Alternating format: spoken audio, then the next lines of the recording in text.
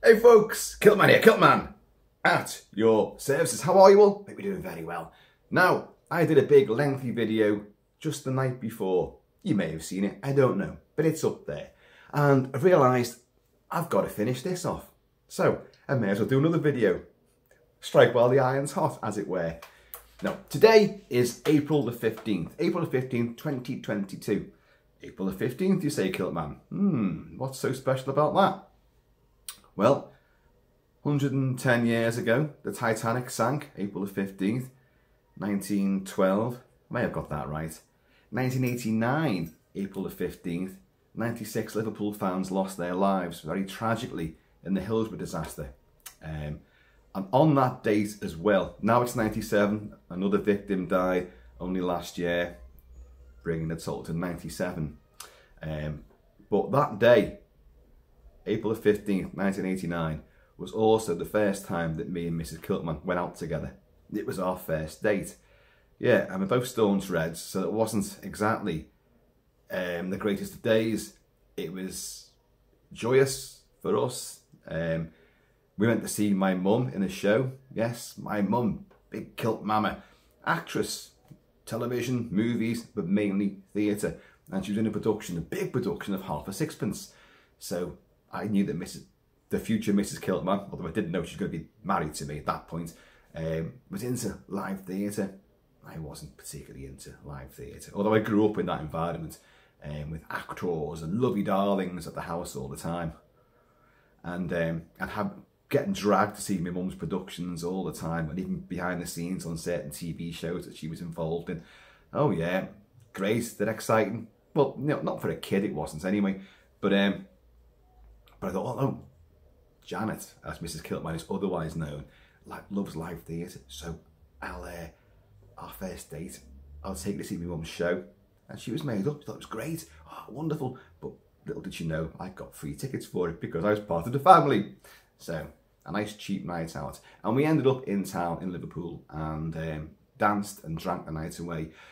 But it was tinged with massive sadness because as each successive hour went by, you heard more about the disaster that unfolded at Hillsborough with the, uh, the fans being crushed. And, well, the rest of it is absolute travesty of justice, as we all know. And I'm not going to talk about that. I mean, the Titanic went down, this happened, me and Janet got together. Hey, you know, what a day. What a day, what a date. And, um, but it's also, today, April the 15th, 2022, is Good Friday. Yes, Good Friday's fallen upon this as well. And of course, what Easter time is the time when Christ, if you believe in all this, was, you know, nailed to the cross, hoisted above, you know, the outside Jerusalem, and uh, yeah, all that kind of stuff happened. So there's a, it's a lot of things happen sort of this time of year, but Good Friday always means one thing and one thing alone to me, and that is Bob Hoskins' finest hour, John Mackenzie's great 1980 London Cockney gangster thriller, The Long Good Friday. Yes! Harold Shand, we stand beside you. Oh, yeah. This film is fucking genius. Absolutely fucking genius. I've loved it since it first came out, and I was able to see it at the flicks as well. Oh, yeah. It, again, part of my connections to the theatrical world and cinema and having friends that own the cinema and going to school with a girl whose parents own that cinema and my best mate whose mother worked in that cinema enabled me no matter what the age I could go and see X certificate films. This was an X certificate movie and I saw it every night for about a week I think. I loved it. It was meant to be a TV movie but of course it was too violent and too nasty and too controversial, so it got a theatrical run instead. John Mackenzie directed it, and it is one of the greatest, if not the greatest gangster movie. You can keep your Godfathers, you can keep your Goodfellas, you can keep all them.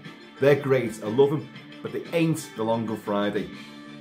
My two favourite gangster movies of all time are The Long Good Friday, and just behind that, mm, yeah, just behind it, Miller's Crossing by the Coen Brothers.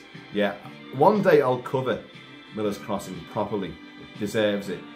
Now, I have reviewed The Long Good Friday already on the channel in quite an extensive, in-depth, you know, warts and all, complete and utter, you know, everything blasted out there, fully comprehensive review. So I'm not going to do that right now, but to me, this day is always The Long Good Friday. And I just totally adore this film. So I will be watching that very shortly. Um, Harold Shand, Bob Hoskins, the epitome of what the burgeoning yuppie empire was to become. Thatcher's Britain, Thatcher's bloody Britain. Cutthroat, backstabbing, destroy the unions, keep the workers downtrodden. But if you've got some money, some capital, and you've got aspiring business ideas, then we'll help you. So long as we can get some of that back pocketed, you know? Some of your profits. And that was what the era was. London Docklands, Harold Shand, top London mobster. He wants to go legit. It's all he wants to do. Life of crime. I'll get in with the mafia and we'll transform the Docklands. We're going to make this into, you know, a mecca of industry, of business, of the arts. He really has such great lofty ambitions. That's what you love about him. He's got foresight, he's got ambition, he's got bottle. So he goes into business with the mafia. And like Tony, Eddie Constantine comes over from, from America. He's already been over there to introduce himself to them and he, he comes over to see, oh, let, let's see Harold's turf, Harold's patch. So he's got all his men to try and look, everything's got to be perfect. Got to impress these guys because that's where all the money's coming from. And we're going to transform the Docklands. Oh dear, that long good Friday, someone else has got other ideas and they're going to completely blow Harold Shand's empire apart. The who's behind it all, what happened. I've discussed it all at length before, so I'm not going to go through all the ins and outs of all that.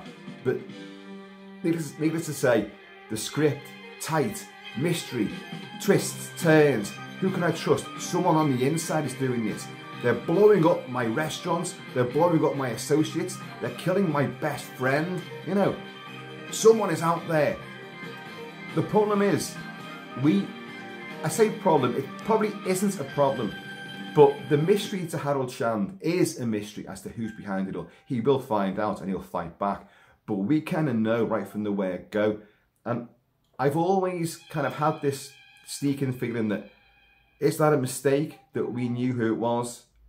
Or, it, or does it work better that we know um, the more risks and the more chances that Harold takes and the more arrogant he becomes, the more doomed we know he actually inevitably is because it's the IRA who are after him. They're in cahoots with a, a corrupt uh, local councillor. Uh, Bryan Marshall plays Councillor Harris, a slimy weasel of a shit. And uh, he is sent, unbeknownst to Harold, two of his trusted comrades over to Northern Ireland to hand over some money to the, uh, the Provos. Now that all goes horribly wrong when they get taken out by security forces. And of course the IRA then think that, hang on, and the money goes missing, that, right, what it is, it's Harold Shand and his organisation, so we're going to take him apart. You don't fuck with these guys.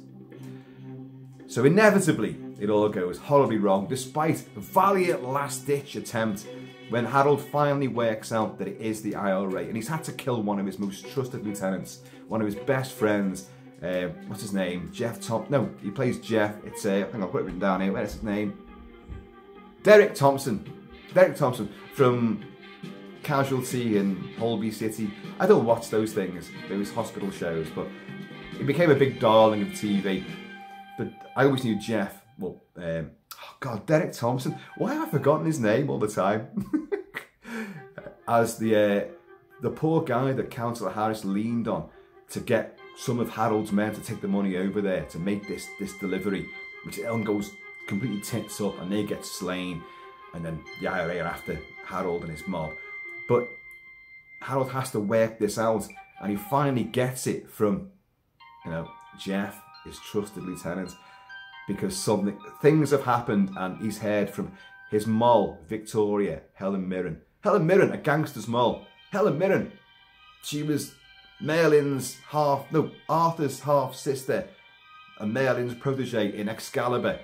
Many, many movies. And she's the Queen of England several times, you know. Uh, but she's Stella here, and she looks after her man, and she'll do her best to keep the um, the mafia guys happy. And like, well bombs are going off and places are going, well, let's not go to that restaurant then. Oops, you know, it's it's gone sky high.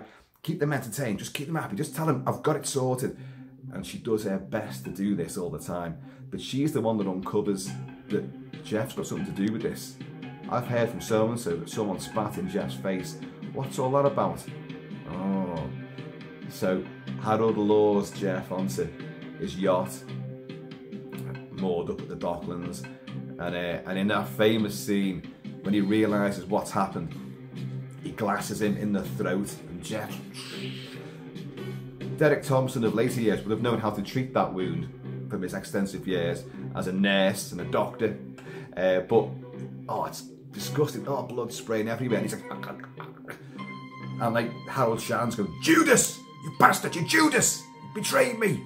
But he's, he's racked with remorse because he's got to realize, we were friends, we were best friends, I trusted you. You betrayed me, but I kind of understand what happened. So he turns the tables on the IRA and Councillor Harris. And in that great stock car racing derby, they arranged to give money over to the IRA to try and get him sixty thousand uh, pounds. Not a lot of money, but it was back then. And um, I'm going to do this now. I'm going to do the deal. And one of the big IRA uh, head honchos is the guy that wins the bloody stock car racing as well.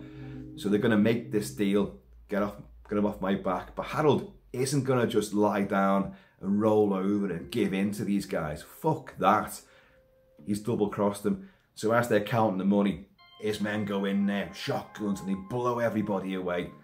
Carnage outside. They kill Councillor Harris as well. Yes, we've done this. And then, of course, you get that finale. Oh my god. The best endings of movies, in my opinion, have been the ones which have a level of finality, a level of ambiguity, a level of, oh my god, it's it haunting you forever. The thing, of course, no further information necessary.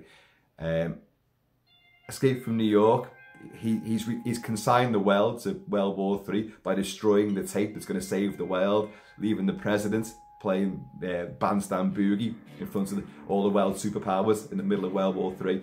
um, and this, he goes to meet the mafia in the hotel room and discovers that they're leaving. What? You, you're leaving? Yeah, there's, there's too much carnage here. We can't trust you, Harold. You, you can't control anything. There's bombs going off. Oh, the mafia. Shitting. You know what I'm going to do? I'm going to go into business in Europe with the Germans. Yeah, the Krats. Yeah, because, you know, they've got ambition. They've got drive don't lose their bottle, unlike you. I wanted someone who could contribute something to what England has given to the world. Wisdom, innovation, genius, sophistication. A little bit more than an hot dog, wouldn't you say? You know, the mafia are shitting. And it's a wonderful, wonderful blaze of glory. He's just like, oh, fuck you. You know, I'll do whatever I want. I'm Harold Shand. I'm going to build back my empire and I'll be 10 times better than you. Good fellas. Knobheads. Ponces, you know.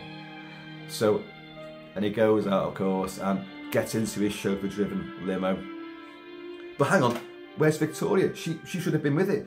And like, the car just jerks off into high speed into the London streets and he sees another limo driving past with Helen Mirren, Victoria, out the window. And, and Who's driving this? You know who's driving it. It's James Bond. It's Pierce Brosnan.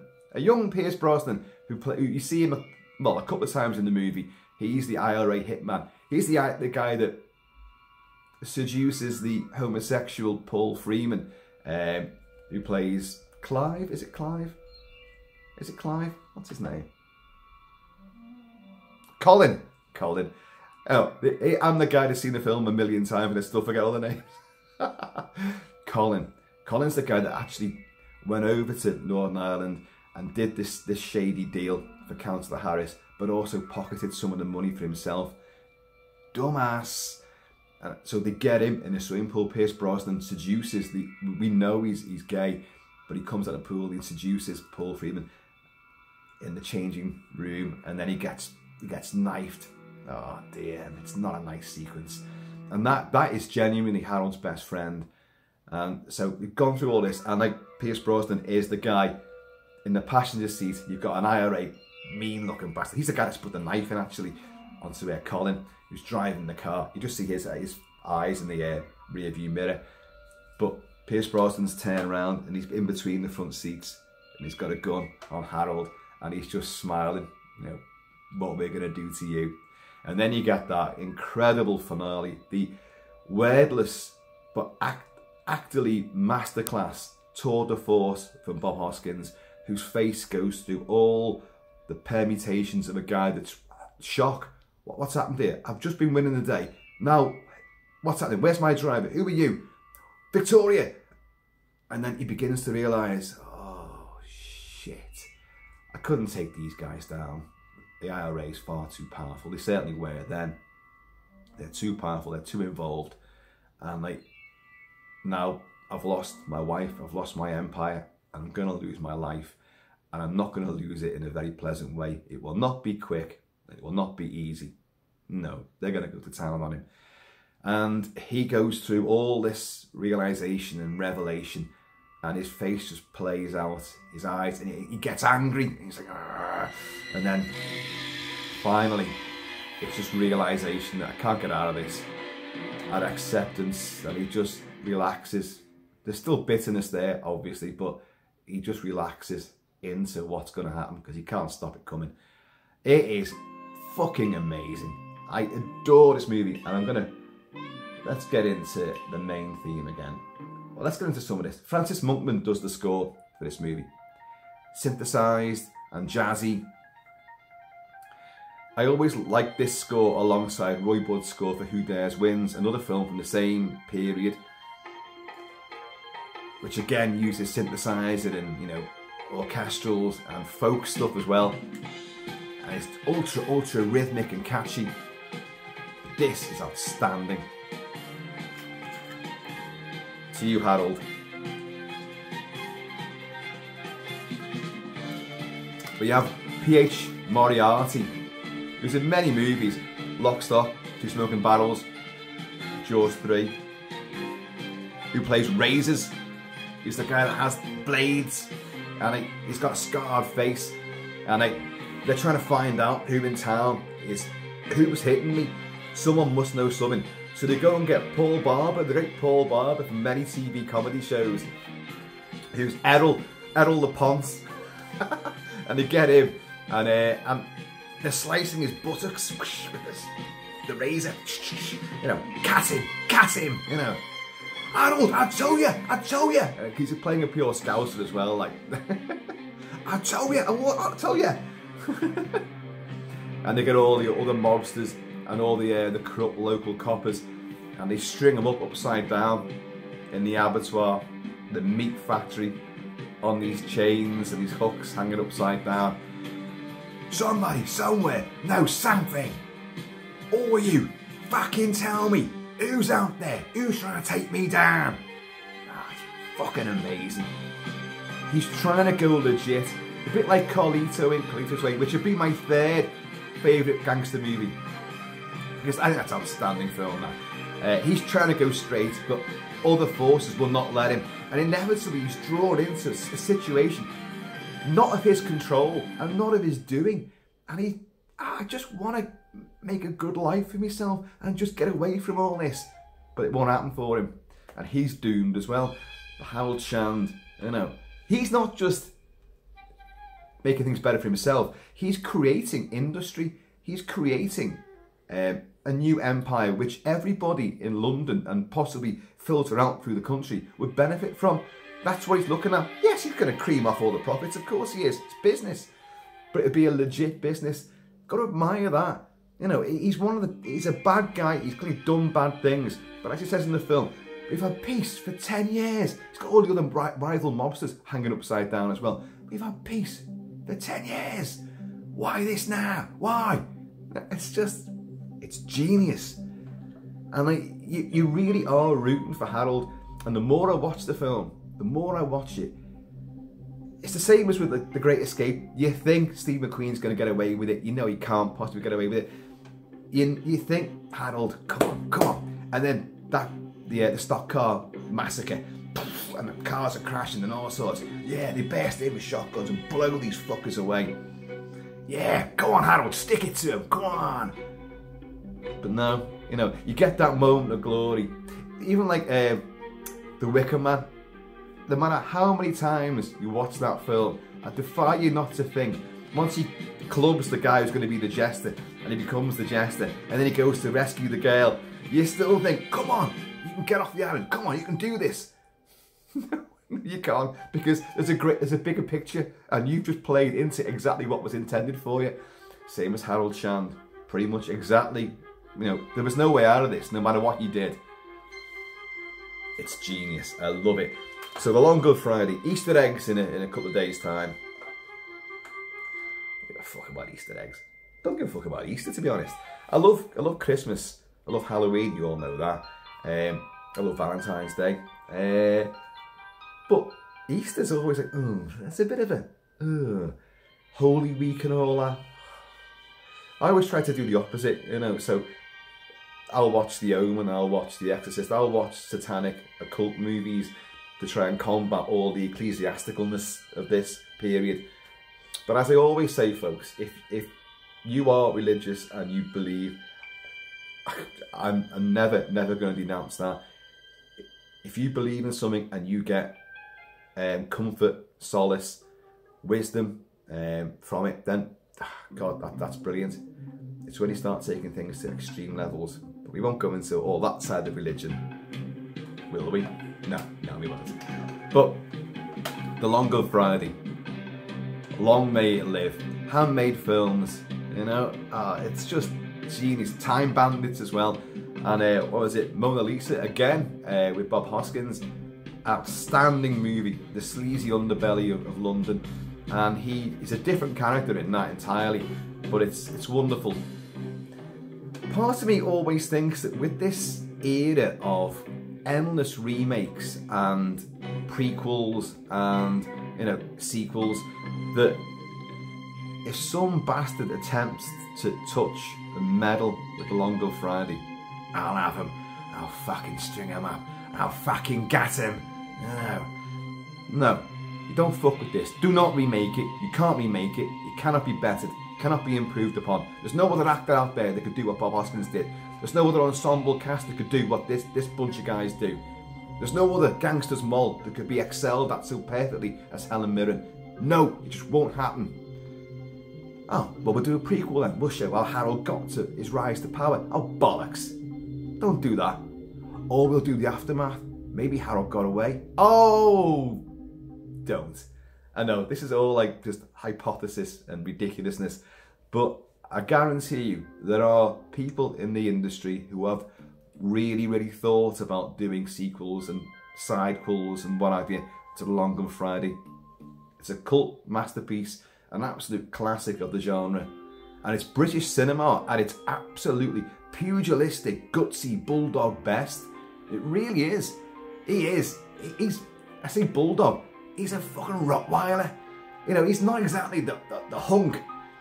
He, but he even gets a shower sequence, and he's like, oh, he's, he's, losing his hair, and he's got a he's, he's got a face like a pumpkin, a bit like myself, and you know, he's a chubby guy. Don't you dare say a bit like yourself. Don't don't you dare.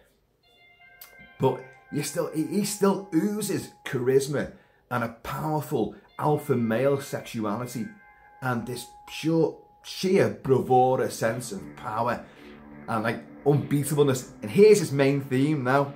Listen to this. So he comes into uh, the airport. And he's just strutting through. Glorious. Francis Monkman's score. Swagger. doomed though, mate. You're doomed. Going down. Don't mess with those provos. But so many classic scenes in the movie. And when he gets all his men, most of whom you've seen in a million and one uh, TV movies and British sitcoms and other films, of course, like uh, all playing these these cockney like gangsters and you know the, the enforcers, his gang, his men, his most trusted people, like get them, get tooled up, they all get the weapons, you know.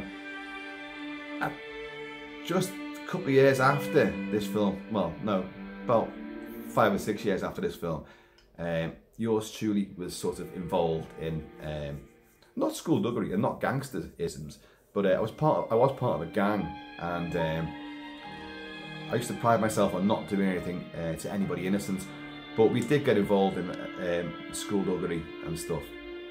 Not not in grace, but um, but I remember like that scene always reminds me of times when like another gang has you know encroached upon our turf or affronted us in some way.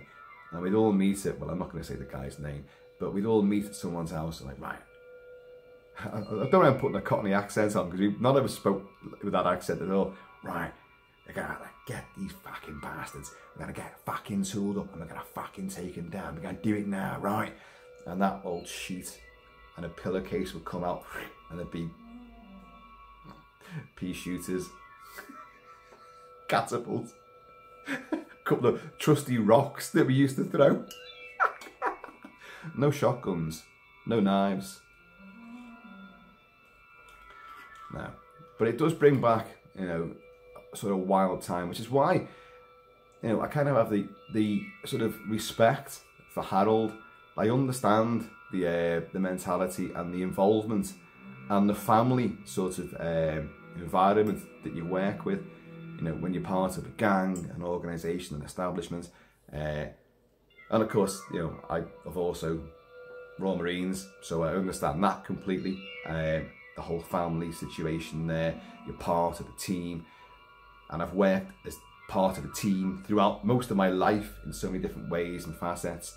Uh, all of which above board. This thing about the teams, by the way, that don't go thinking that was some kind of monster. That was that was not what I was getting at. We were just little scroats. A bit like the young Dexter Fletcher who's in this movie. And they, you know, when they, they pull up outside um, Paul Barber's place, um, the nonce, what's his name? Uh, oh God, I forgot everyone's name. Errol. Errol the Ponce. The Razors gets to work with. Um, slash, slash, slash. Uh, and Dexter Fletcher, you know, they got, look, wants to mind your car, mind your motor. And like, Harold Shine's like, ah, you know, remember Razors, this is how we started off. Go on, you little scrote and all that. Gives us some money. Those fucking wheels better be there when we come out. Well, that's what we were like. Just these little fucking urchins. Thinking we were fucking big and hard and going into boozers with our little pathetic moustaches, you know. And like I was the one that had to go to bar because I had I had the, the best of the uh, or the least pathetic of moustaches at the time.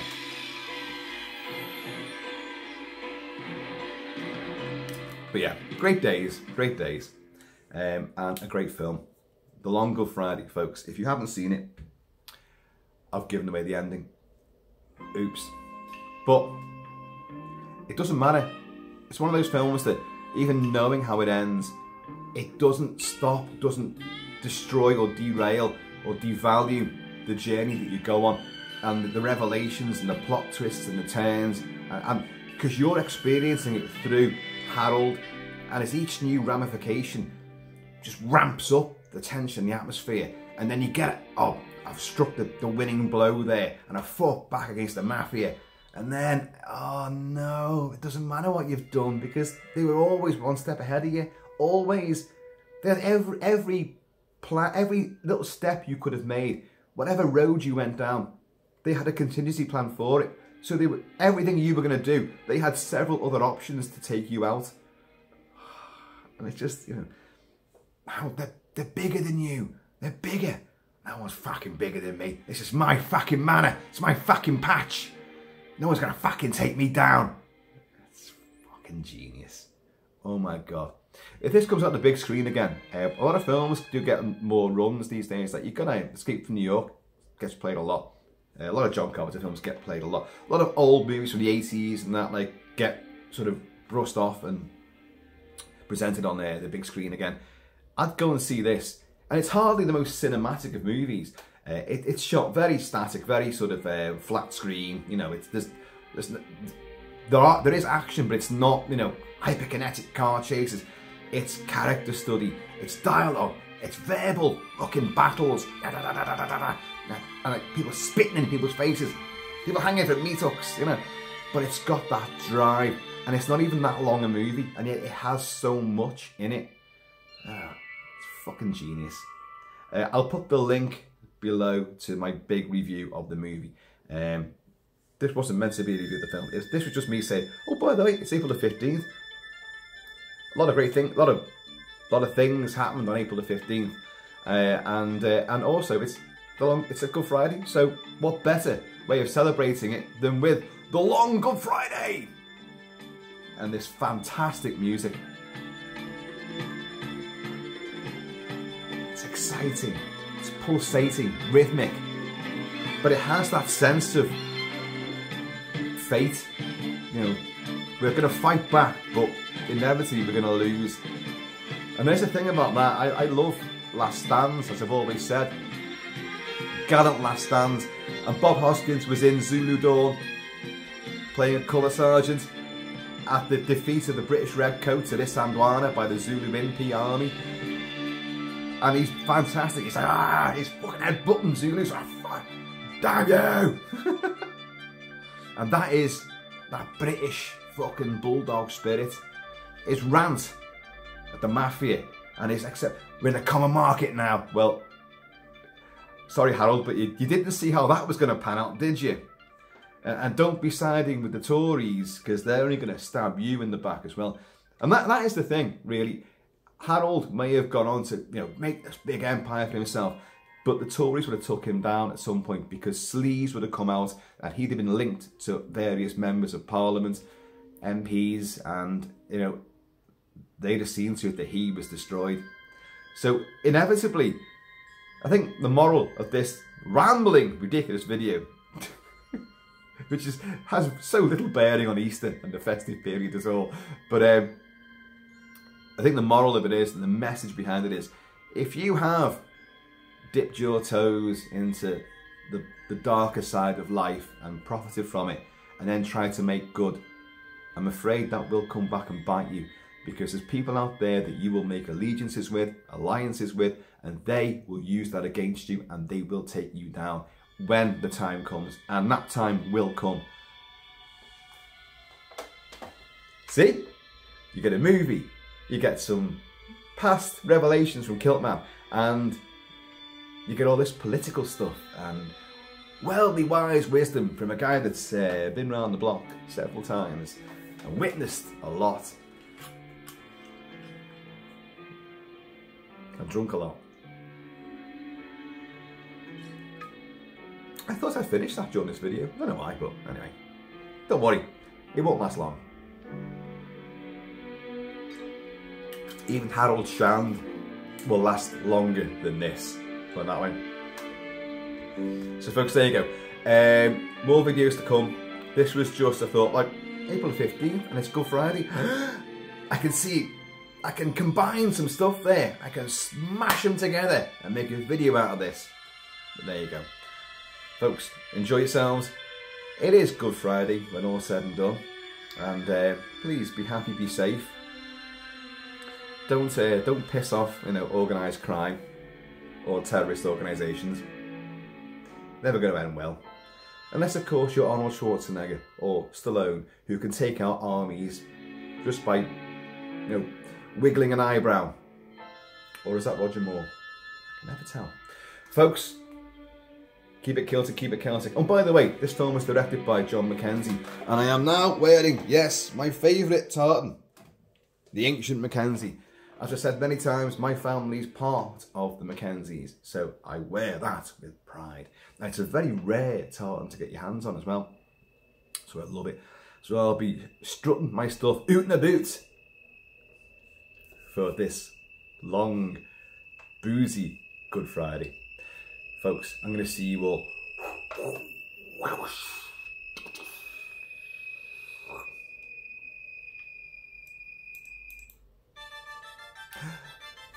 Laters.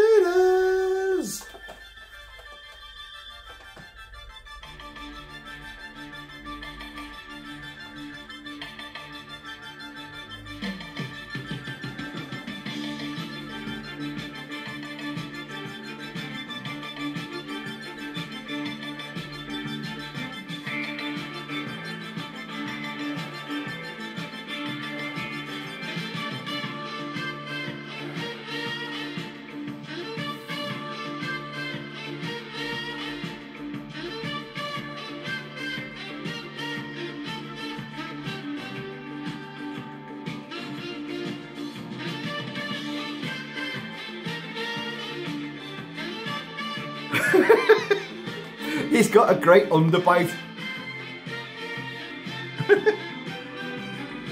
you can see as well, he thinks at some point, I can take these guys. That flashes through his eyes, I can take these guys, I can get out of this.